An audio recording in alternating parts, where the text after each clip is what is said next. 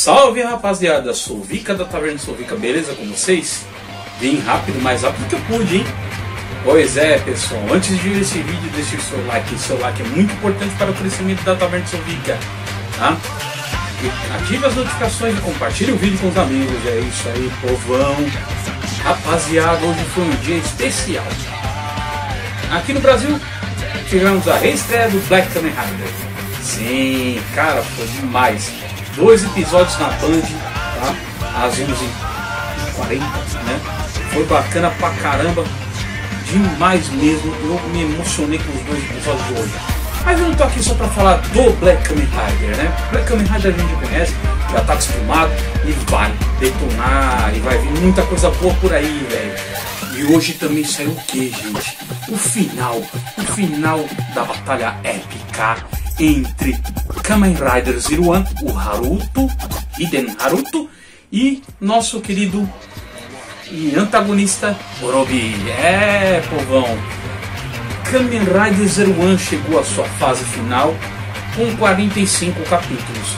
O primeiro episódio já foi top, a série inteira foi inteiramente bem escrita, bem cheia de cenas de ação, muito bom mesmo, muito bom mesmo. Devido, infelizmente, à pandemia, a série que normalmente seria de 50 e poucos capítulos, acabou sendo de apenas 45. Mas não teve importância. Tanto assim não, né? Eu fico um pouco triste pra falar a verdade. Porque eu queria com todos os episódios, mas fazer o que, né? Pandemia, loucura acontecendo. Ah, tanto que eles choraram pra caramba, né? Nessa fase final, né? Um choroto terrível. Aquelas entregas que normalmente eles recebem flores, né? Os personagens quando eles partem dessa pra melhor, né? E pessoal, que final incrível. Hiden Haruto e Orobi fizeram uma das melhores lutas que eu já vi.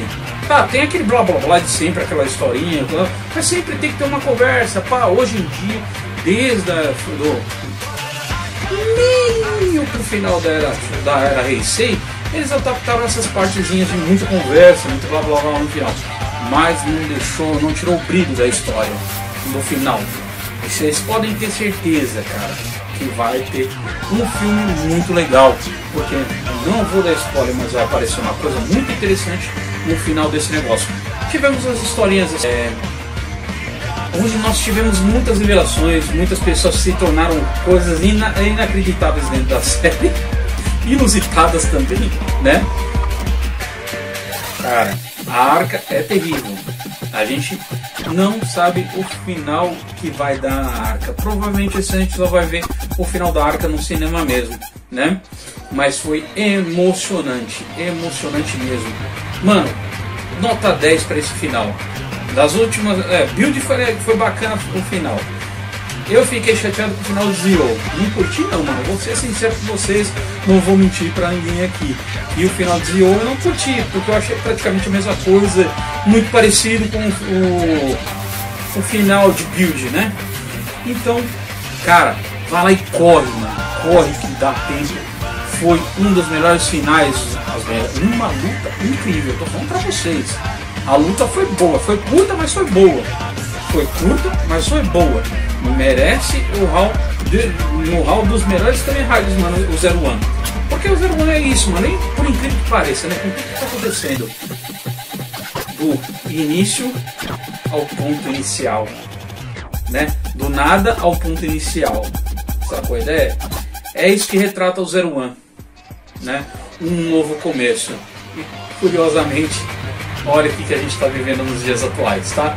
Espero que vocês tenham gostado desse vídeo. Não se esqueça de se inscrever no canal, ativar as notificações, compartilhar com os amigos, porque aqui a loucura acontece, as informações também acontecem direto, tá? Demorou um pouquinho para fazer o vídeo, tal.